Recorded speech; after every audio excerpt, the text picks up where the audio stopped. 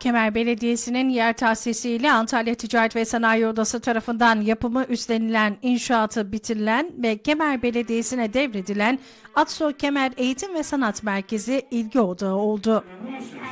Yani ona bir şey yapmayalım mı?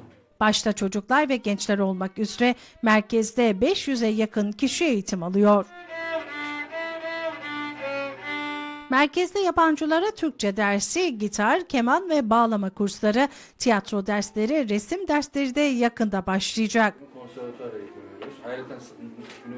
Kemer Belediye Başkanı Necati Topaloğlu merkezi ziyaret ederek eğitim alan gençlerle bir araya geldi. Merhaba, ne haber? Keyifler nasıl? Kemer Belediyesi Gençlik Orkestrası öğrencilerinin derslerine konuk olan Başkan Topaloğlu, merkezin Kemer'de büyük bir eksikliği tamamladığına dikkat çekti. Çocuklarım çalıyor şimdi bunu ben başka yerden duyuyorum.